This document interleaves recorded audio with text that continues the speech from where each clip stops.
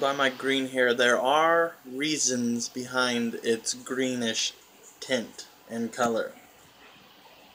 Simply because of the new movie Suicide Squad, which we are less than a month away. Comes out August 5th. I'll be seeing it August 4th. Excited!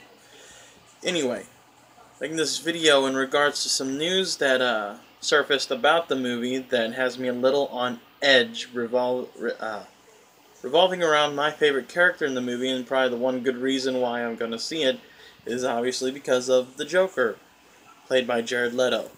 Now, the news that came out about the character, why I'm on edge, uh, they did an interview with, uh, I believe, the director David Ayers, or maybe Jared Leto himself, about the Joker's involvement within the Suicide Squad itself.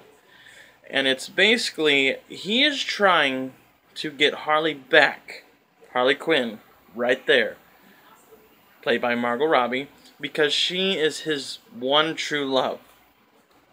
Now, if you understand why that aggravates me, then you are a Batman fan and Joker fan. Joker doesn't love anybody but himself. He is such a sadistic person that he cannot love another human being. The only reason why Harley Quinn is ever around is because he uses her for her knowledge and her skills. And then it's always vice versa that she is in love with him. It's never really the other way around.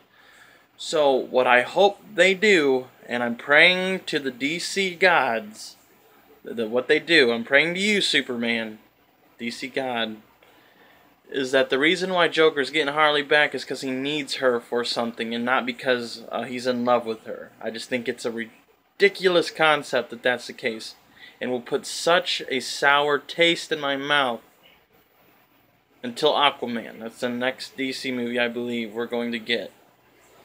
You know, I was biased about Batman vs. Superman because I am a huge Batman fan and Ben Affleck just crushed it as the Dark Knight.